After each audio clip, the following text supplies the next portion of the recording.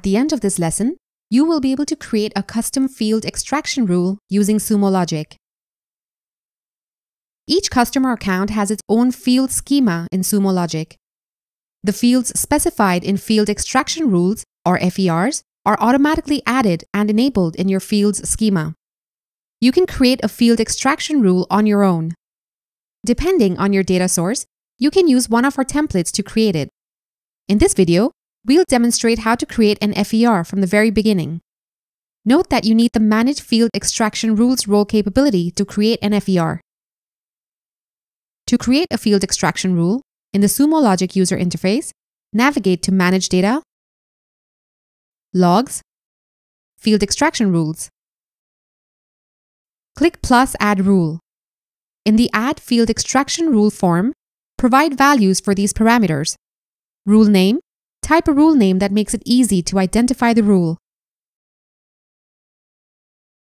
Scope, type a keyword search expression that points to the subset of logs you'd like to parse. For example, underscore source category equals labs slash apache slash access.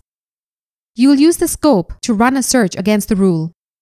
We'll skip parsed template optional as we are creating a new FER in this demonstration. Parse expression. Type a valid parse expression with supported parse and search operators. Please test the parse expression in the log search tool before you add it as an FER. In this demonstration, we'll use the parse regex operator as shown on the screen to parse source IP, method, URL, status code, size, and referrer from the log messages. Extracted fields show the field names the rule will parse. If an extracted field does not exist in the field table schema, it'll be shown with the text new and will automatically be added in the schema. Click Save to create the rule.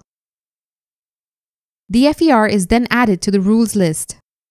The status shows a check mark in a green circle to indicate if the rule is actively being applied. An exclamation mark in a red circle indicates if the rule is disabled the other details shown are rule name, scope, created date and time by user, and last modified date and time by user. Fields capacity is displayed at the bottom of the screen that indicates how many fields your account is using out of the total available for use. We hope this video helps you create custom field extraction rules of your own. Thank you for joining.